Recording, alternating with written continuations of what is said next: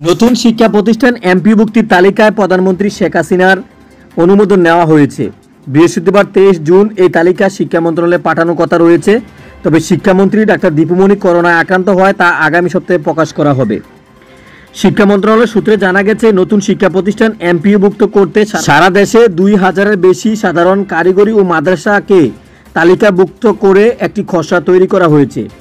সেটি চূড়ান্ত করে শিক্ষা মন্ত্রণালয় থেকে বৃহস্পতিবার ষোলো জুন প্রধানমন্ত্রী দপ্তরে পাঠানো হয়। সেই তালিকায় প্রধানমন্ত্রীর অনুমোদন নেওয়া হয়েছে, সেটি আজ শিক্ষা মন্ত্রণালয়ে পাঠানো হতে পারে।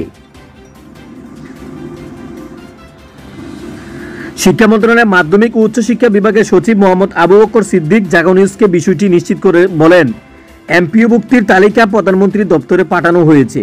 তালিকা চূড়ান্ত হয়ে এলে তা প্রকাশ করা হবে। তবে মন্ত্রণালয়ের নাম প্রকাশে অনিচ্ছুক এক কর্মকর্তা জানান প্রধানমন্ত্রীর দপ্তর থেকে এমপিওভুক্তি তালিকা আজ পাঠানো হতে পারে। তবে তালিকা চূড়ান্ত হয়ে আসলেও তা এখনও প্রকাশ করা হবে না। শিক্ষামন্ত্রী সুস্থ হয়ে সংবাদ সম্মেলন করে এই তালিকা প্রকাশ করবেন। আগামী সপ্তাহে এই সংবাদ সম্মেলন আয়োজন করা হতে পারে। এর আগে রোববার পাঁচই জুন সচিবালয়ে শিক্ষা মন্ত্রণালয় এক সংবাদ সম্মেলনে দুই হাজারের বেশি শিক্ষা প্রতিষ্ঠান এমপিও মুক্তির ঘোষণা দেওয়া হবে বলে জানিয়েছেন শিক্ষামন্ত্রী ডাক্তার দীপুমণি স্কুল, কলেজ সহ বিভিন্ন বেসরকারি শিক্ষা প্রতিষ্ঠান এমপি এমপিভুক্তির অর্থাৎ মান্থলি পে অর্ডারের আওতায় প্রতি মাসে নির্দিষ্ট অঙ্কে সরকারি অনুদান পেয়ে থাকে। বেসরকারি শিক্ষা প্রতিষ্ঠান এমপি এমপিভুক্তির আবেদন যাচাই বাছাই গত বছরের সাতই নভেম্বর নয় সদস্যের কমিটি গঠন করে শিক্ষা মন্ত্রণালয়। কমিটিকে সহায়তা করতে চার সদস্যের একটি উপকমিটিও গঠন করা হয়।